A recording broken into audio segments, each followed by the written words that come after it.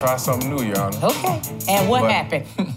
Everything was good, you know. Until cousin came, they got into the argument, and for some reason, they when they made up, the cousin came to me the next day, and she was saying like, "Hey, um, I think her and you know my my friend is still messing around. You know, her, Is this the third person? Yes. So and, and I was like, what? I was like, why would she tell me something like that? So I told her, you know, I was like, what's going on? She was, I didn't do that. You know, I don't know what she's talking about. Why would she tell you that?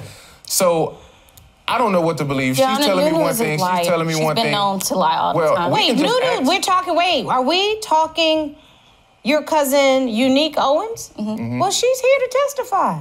She's a liar. Everybody in the family knows she's a liar. He knows she's a liar.